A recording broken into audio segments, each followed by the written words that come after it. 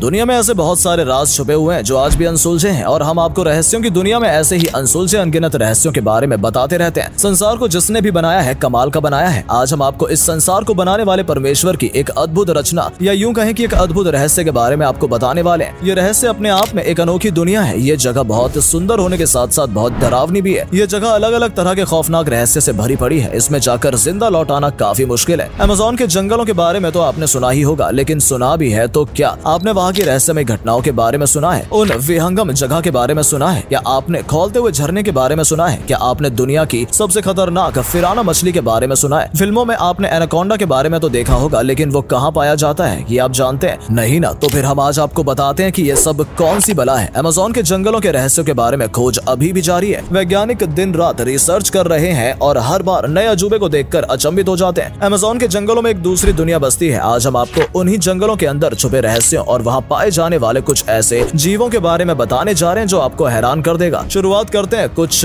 ठंडक पहुँचाने वाली बातों से। अमेजोन को धरती का फेफड़ा भी कहा जाता है। आपको तो पता ही है की फेफड़ा क्या काम करता है। मानव शरीर में ठीक वही काम अमेजोन के जंगल भी करते हैं। बढ़ते प्रदूषण और लगातार खत्म हो रहे जंगलों के बीच अमेजोन के जंगल आज भी प्रकृति के अस्तित्व और उसकी विविधताओं को संजोए हुए है। पूरे धरती के ऑक्सीजन का बीस फ़ीसदी हिस्सा अकेले अमेजोन के जंगलों से उत्पन्न होता है। हालाँकि अंधाधुंध निर्माण और मानवीय प्रसार उनको लगातार नुकसान पहुँचा रहा है। इस भयावह जंगल में जहाँ एक तरफ़ जीवन दायक वृक्ष है तो वहीं बेहद खतरनाक नरभक्षी पेड़ पौधे भी पाए जाते हैं। अमेजोन के जंगलों में नरभक्षी पेड़ भी पाए जाते हैं, जो देखते ही देखते इंसानों को भी निगल जाते हैं। उनके बारे में भी हम आपको आगे बताने वाले हैं। अमेजोन का क्षेत्रफल विस्तार सत्तर लाख वर्ग किलोमीटर में है, लगभग एक दशमलव सात अरब एकड़ में फैला हुआ ये जंगल। अमेरिका से लेकर ब्राज़ील तक के देशों में फैला हुआ है। ये जंगल इतना विशाल है कि नौ देशों की सीमाओं को छूता है। पूरी दुनिया की चार प्रतिशत ज़मीन अमेजोन के जंगलों में आती है, जब से बड़ा भूभाग ब्राज़ील का है। अमेजोन के जंगलों का साठ प्रतिशत हिस्सा ब्राज़ील का है, तेरह प्रतिशत हिस्सा पेरू और दस प्रतिशत हिस्सा कोलंबिया का आता है। बाकी अन्य छह देशों की सीमाएँ भी अमेजोन में प्रवेश करती हैं। अमेजोन दुनिया का सबसे बड़ा रेन फॉरेस्ट है। ये पूरी दुनिया के रेन फॉरेस्ट का बासठ प्रतिशत हिस्सा खुद में समेटे हुए है। अमेजोन के जंगलों में आदमखोर जीव जंतुओं की कोई कमी नहीं है। जानवर और कीड़े मकौड़े तो है ही। बड़े और विशाल का वृक्ष भी आदमखोर प्रजातियों के हैं जो वहाँ पाए जाते हैं। अमेजोन के जंगलों में चार अरब से ज़्यादा वृक्ष है। सोलह हज़ार से अधिक वनस्पति प्रजातियाँ हैं। इस जंगल में कीड़े मकौड़े की पच्चीस लाख से अधिक प्रजातियाँ हैं। कुछ कीड़े तो ऐसे हैं, जिसमें स्पर्श मात्र से ही क्षण भर में मौत हो जाती है। नरभक्षी पेड़ अपने आप में एक रहस्य है। इनके चंगुल में आने वाले किसी भी आदमी का जानवर को ये बड़े आराम से लपेट लेते हैं, हाथ पाँव को अपनी शाखाओं से बाँध देते हैं और फिर धीरे धीरे जकड़न से उसके शरीर का कुचुम्बर निकाल देते हैं। अमेजोन के जंगलों के बीचों बीच अमेजोन नदी बहती है। इसी के नाम पर इस जंगल का नाम भी अमेजोन है। अमेजोन नदी दुनिया की सबसे बड़ी नदी है। बड़ी नदी कहने का मतलब है की इस नदी की चौड़ाई अत्यधिक है। बारिश के दिनों में या नदी में अधिक पानी आ जाने के क्रम में ये नदी इतनी चौड़ी हो जाती है कि एक किनारे से दूसरे किनारा नज़र नहीं आता। इनकी लंबाई अड़सठ किलोमीटर है। इस नदी में पाँच हज़ार से अधिक मछलियों की प्रजातियाँ पाई जाती हैं। सबसे खतरनाक फिराना मछली भी इसी नदी में पाई जाती है। फिराना मछली पर कई हॉलीवुड फ़िल्में भी बन चुकी हैं। इस खतरनाक मछली के दांत देखिए। इतने खतरनाक हैं कि किसी का भी कलेजा फाड़ दे। अमेजोन नदी में ये मछली मौत का कफन लेकर घूमती है। मिनटों में अपने शिकार को चीर फाड़ डालती है और लहूलुहान कर मार डालती है। आमतौर पर मछलियाँ इंसानों से घबराती है, लेकिन फिराना मछली इंसान देखकर उस पर हमला बोल देती है। बात जीव जंतुओं पर आ ही गई है तो आइए अब आपको बताते हैं अमेजोन के जंगलों में रहने वाले कुछ ऐसे जीवों के बारे में, जो आज भी एक रहस्य बने हुए हैं। हालाँकि फ़िल्मों, पत्रिकाओं और अखबारों के निबंधों में इनके बारे में कुछ खास बताया गया नहीं है, लेकिन वो एक कल्पना है। वास्तविकता उससे अलग और बेहद खतरनाक है। अमेजोन के जंगलों में रहने वाले सबसे खतरनाक जीवों में नाम आता है एक सांप का, जिसे दुनिया एनाकोंडा के नाम से जानती है। एनाकोंडा अमूमन 30 से 40 फीट का होता है। इसकी ताकत इतनी बेमिसाल है कि एक बार लिपट जाए तो शिकार की हड्डियों के टूटने की आवाज़ें दूर तक जाती है। एनाकोंडा ज़िंदा इंसान को निकल जाता है। बड़े बड़े जानवर जैसे मगरमच्छ, तेंदुआ, हिरन तक को सीधा एक बार में गटक जाता है। एक बड़े शिकार को निकलने के बाद उसे महीने भर तक कुछ खाने की ज़रूरत नहीं पड़ती। जब ये जंगल से गुजरता है तो जानवरों में भगदड़ मच जाती है। ये बहुत फुर्तीला होता है। लेकिन जब ये एक बड़े शिकार को निगल लेता है तो इसका हिलना डुलना भी मुश्किल हो जाता है। पर ऐसा नहीं है कि वैसी स्थिति में वो कम खतरनाक होता है। एनाकोंडा के बारे में कहा जाता है कि इस सांप के आने जाने से जंगलों में छोटे छोटे गलियाँ जैसे रास्ते बन जाते हैं। आप उस रास्ते पर खड़े होकर ये तय नहीं कर पाएँगे कि ये रास्ता है या यहाँ से कोई सांप गुजरा है। एनाकोंडा आमतौर पर पानी के आसपास ही रहता है। कई वैज्ञानिकों ने इस पर रिसर्च की है और इसके बारे में काफ़ी कुछ लिखा है। इसकी कद काठी तो चर्चा में रहती ही है। इसकी चमड़ी काफ़ी मोटी और बेशकीमती होती है। यही कारण है कि खतरों से खेलकर शिकारी इन बड़े सांपों का शिकार करने चाहते हैं। कुछ शिकार करके आते हैं, कुछ शिकार हो जाते हैं। अमेजोन के जंगलों में एक चीटी है, नाम है बुलेट एंट। कहा जाता है कि इस चीटी के काटने के बाद शरीर में गोली लगने जितना दर्द होता है, उसके बाद इंसान को असह पीड़ा होती है और मौत तक हो सकती है। बुलेट एंड के डंक में एक खास किस्म का जहरीला पदार्थ होता है, जिससे वो अपने शिकार पर हमला करती है। आपको गोली की आवाज़ सुनाई नहीं देगी, लेकिन दर्द उससे भी ज़्यादा होगा, इसलिए तो इसे बुलेट एंड कहा जाता है। अमेजोन के जंगलों में न सिर्फ़ जंगली जानवर खतरनाक है, बल्कि पानी भी खतरनाक है। इस जंगल में बॉइलिंग वाटर यानी उबलते हुए पानी का झरना है। अगर आप इस जंगल में है तो झरना देखते ही उसमें नहाने मत उतर जाना, नहीं तो आलू की तरह उबल कर रह जाओगे। इस झरने के पानी का तापमान सौ डिग्री सेल्सियस तक रहता है। यहाँ तक की आसपास के लोग इसके पानी में सब्ज़ी और अंडे तक उबाल लेते हैं। इसका पानी इतना गर्म क्यों होता है? इस पर रिसर्च जारी है, लेकिन तब तक इसका कोई स्पष्ट कारण पता नहीं चला है। अमेजोन के जंगलों में पाटू नाम का एक पक्षी भी प्राकृतिक रहस्य है। इसका रंग बिल्कुल पेड़ों की टहनियों सा होता है, जिसकी वजह से अगर किसी पर ये बैठा है तो दूर से नज़र नहीं आता। इसकी छोटी काली आँखें भी शिकारी को चकमा देने में माहिर होती हैं। किसी भी पेड़ की टहनी पर ये इस प्रकार बैठ जाता है कि फिर चील या सांप इसे देख भी नहीं पाते कि वाकई वहाँ कोई शिकारी है या बस टहनी है। प्लास्टिक ईटिंग फंगस भी अमेजोन के जंगलों में एक नायाब खोज है। हालाँकि इस पर रिसर्च जारी है। येल की एक छात्रा को इसके बारे में जानकारी मिली थी। उन्होंने पाया कि एक फंगस पुराने कचड़े यहाँ तक कि प्लास्टिक तक को खा जाता है और खुद में कंज्यूम और डाइजेस्ट कर लेता है। इसका कोई अपशिष्ट भी नहीं है। और तो और ये काफ़ी कम ऑक्सीजन में भी अपना खाना बना लेते हैं। मतलब फोटोसिंथेसिस प्रोसेस काफ़ी कम ऑक्सीजन में हो जाती है। अगर इस पर हो रही शोध कामयाब होती है तो प्रदूषण के सबसे बड़े मुसीबत प्लास्टिक के मुक्ति मिल सकती है। दोस्तों, अमेजोन का जंगल ऐसी ही विविधताओं से भरा हुआ है, जिस पर लगातार शोध चल रहे हैं। यहाँ एक से बढ़कर एक